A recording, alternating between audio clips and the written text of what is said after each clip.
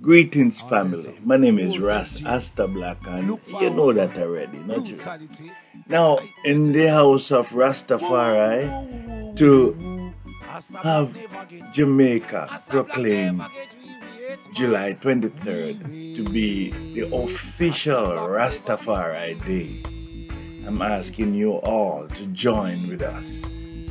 Join with the 300 people on the House of Rastafari WhatsApp group that already love the idea and willing and ready to campaign to make it happen. Now we know we have to go through the government of Jamaica to the Governor General to declare Rastafari Day.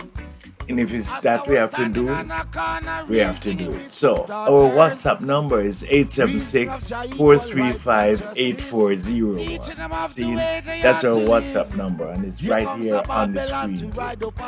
So let us all work together to get this July 23rd to be the official Rastafari Day. Rastafari has been quite effective in making the bottom line of our GDP quite good.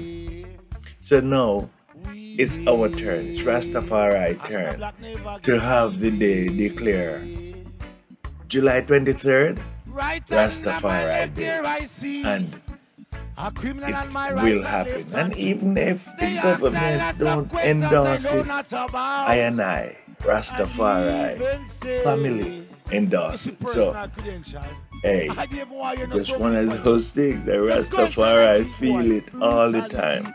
But look, it's I and I thing. It's our Rastafari. And you know, hey, legend who's let the world know that Jamaica is the one love island one love. and we're inviting everyone to come feel the vibes of Rastafari in Jamaica.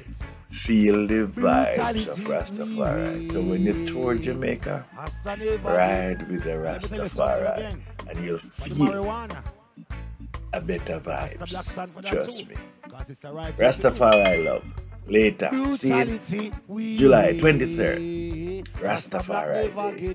Listen.